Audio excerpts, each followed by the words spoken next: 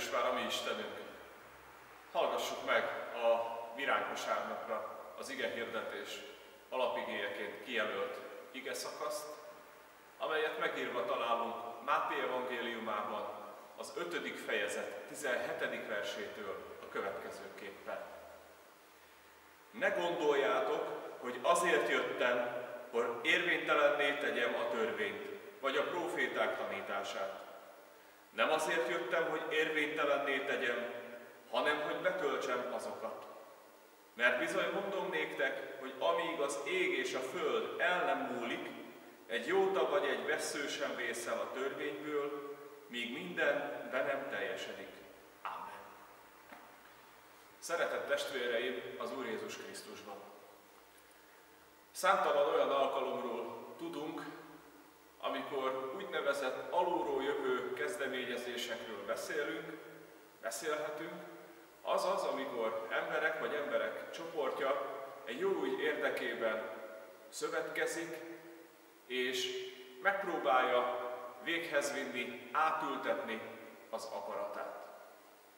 Húsvét ünnepe és maga a virágvasárnap ünnepe viszont nem egy alulról, hanem felülről mondhatjuk azt, hogy a legmagasabb szintről, a legmagasabb helyről érkező kezdeményezés. Isten kezdeményezi az Úr Jézus Krisztus bevonulását Jeruzsálembe, ez a felülről jövő utasítás, illetve Isten akaratának a beteljesedése, az alulról jövő kezdeményezés pedig az ünneplő néptömeg, akik teljesen spontán módon, mint egy megérezve felismerik megváltó személyét az Úr Jézus Krisztusban. Aki, ahogyan az igénkben is olvastuk, nem azért jön, hogy felborítsa a régi rendet, nem azért jön, hogy megmásítsa Isten ígéretét vagy akaratát, vagy felülírja azt, esetleg a kezébe ragadja a kezdeményezést, hanem pontról pontra, veszőről veszőre teljesíti Isten megígért akaratát annak érdekében, hogy véghez vihesse a mi megváltásunkat. Lényegében erre emlékezünk, ezt ünnepeljük virágvasárnapon. És engedjétek meg, hogy elmondjak egy ilyen ünneplési útmutatót, amely nem csak a virágvasárnapot, hanem úgy általában az egész nagy hetet és az azt követő húsvéti ünnepeket végig kell, hogy kísérje, és elő kell, hogy segítse a ünnephez való viszonyunkat. Keresztényként azt tudjuk, hogy a hitünk ébren tartásához nélkülözhetetlen az ünnepek helyes ismerete és megélése.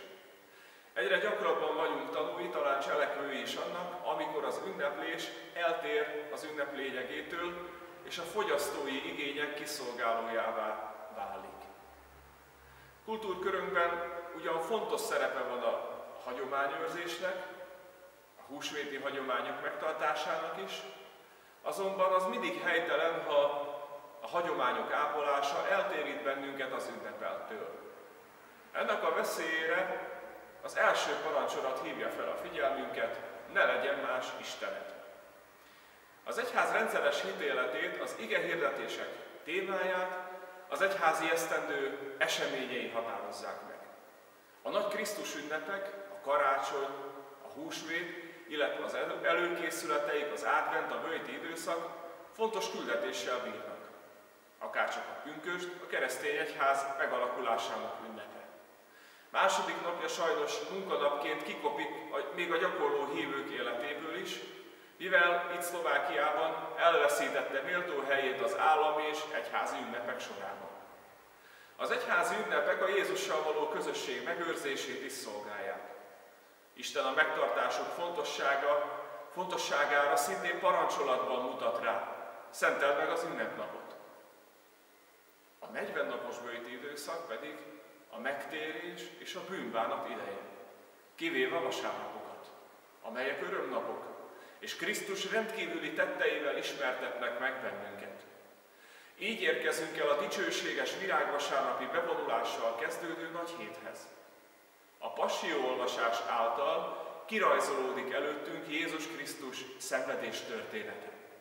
A nagy csütörtököt az úrvacsora szentségének szereztetése teszi ünnepé, amikor a Mester kijelenti, hogy az ő teste értünk adatik, és vére értünk ontatik ki. Azzal nyomatékosítva, hogy mindent az általa elrendeltek alapján cselekedjünk. Másnap, nagy pénteken, Isten váltságműve teljes erejével feltárul előttünk. Elvégeztetett, hangzik a megváltunk igéje a keresztről. Nagypéntek minnyájunknak egészen személyesen megmutatja, hogy milyen áron nyertünk mi üdvösséget. Ez a nap a töredelmes bűnbánat, az igazi elcsendesedés napja, hogy szívünk mélyéből felfakadjon bennünk a valódi felismerés. Majd húsvét vasárnap reggelén a feltámadott, üres sírja Isten ígéretének beteljesedésére emlékeztet. Mielőtt kizökkentene bennünket, hogy a harmadik napon való feltámadás sehogyan sem illik bele a számításunkba, tudnunk kell, hogy a meghatározás abból ered, hogy a zsidóság a tört napokat is egésznek számította. Legfőbb ünnepünket, amelyből a rendszeres vasárnapi istentiszteletek megtartása is ered, a magyar nyelv a kevésbé kifejező húsvét szóval illeti. Ez csupán a húsjevési tilalom elmúlását fejezi ki, és nem utal az Úr Jézus feltámadására. Azonban az ünnepek ünnepének jelentőségéből ez semmit sem von le, mert Jézus Krisztus feltámadásával és halál felett, felett aratott győzelmével vitathatatlanul beigazolódik Isten dicsősége. Ezeket igazolja a második ünnepnap, a húsvét hétfő. Majd a hét héten át egészen pünkösdig tartó egyetlen ünnep benne az Úr Jézus mennybe menetelével, amely a többi tanítvány bizonságtételével megkoronázza Isten váltságművét, és elindítja a húsvéti örömhírt a ma, a ma is tartó diadalmas és hitünk értelmét adó meghódítására.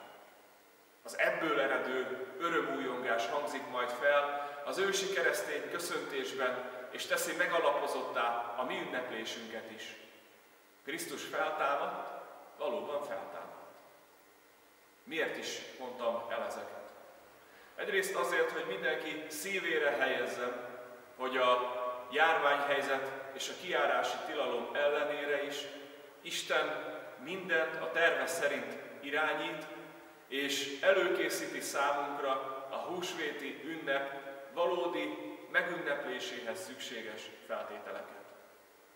Ugyan nem találkozunk a templomainkban, Isten tiszteleteken továbbra sem, viszont az online térben felhangzanak a különböző felekezetek ige hirdetései.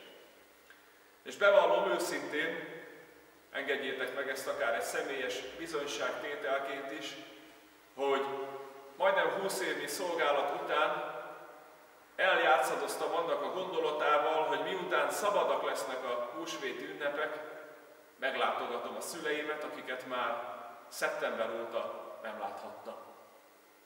De nem teszem, és mindenkinek azt ajánlom, hogy ne tegyük. Eljön még a szeretteinkkel, a legközelebbi hozzátartozóinkkal való idő eltöltésének az ideje. Most vigyáznunk kell egymásra. Most oda kell figyelnünk arra, hogy senki se vesszen el közülünk. Úgy, ahogyan Krisztus művével sem, illetve annak elindításával virágvasárnapon semmi sem veszett el abból, amit az Úr Jézus Krisztus, illetve a proféták ígéretei elmondtak mindenki számára.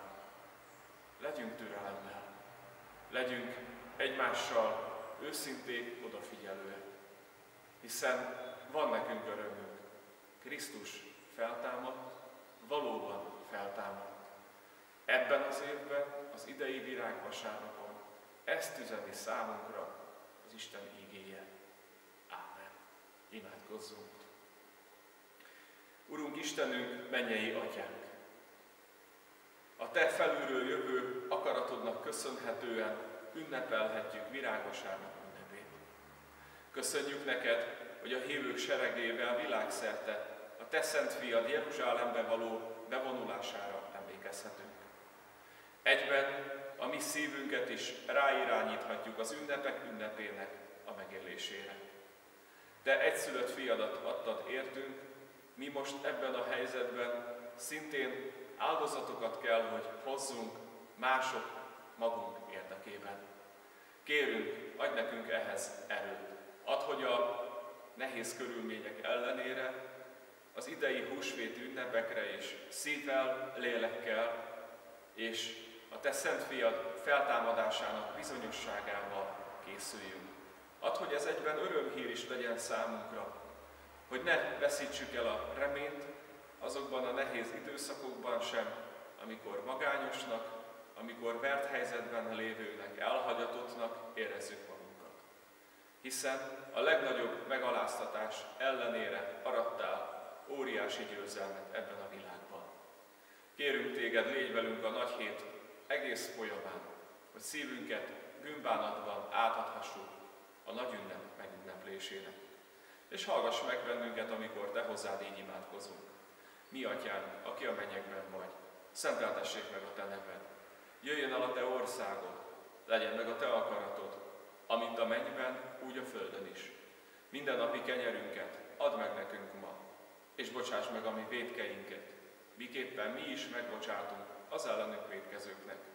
És ne vigy minket kísértésbe, de szabadíts meg a gonosztól, mert Téd az ország, a hatalom és a dicsőség mindörökké. Amen. Isten békessége, amely minden értelmet meghalad, őrizze meg szíveteket és gondolataitokat az Úr Jézus Krisztusban.